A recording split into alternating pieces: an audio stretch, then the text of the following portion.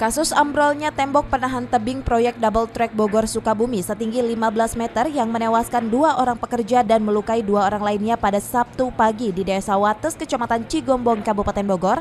Sampai saat ini pihak kepolisian masih melakukan penyelidikan penyebab ambrolnya tebingan. Hal tersebut disampaikan Kapolres Bogor AKBP Muhammad Joni. Masih dalam proses penyelidikan, masih melakukan pemeriksaan saksi-saksi, termasuk TKP. Nanti dari apakah ada kelalaian atau memang salah SOP yang dalam proses tersebut, termasuk juga apa memang uh, apa namanya dampak alam yang mengakibatkan terjadi longsor tersebut. Nah, nantilah kita hasil penyelidikan nanti baru kita sampaikan. Dari Cibinong, Kabupaten Bogor, Edi Junaidi melaporkan.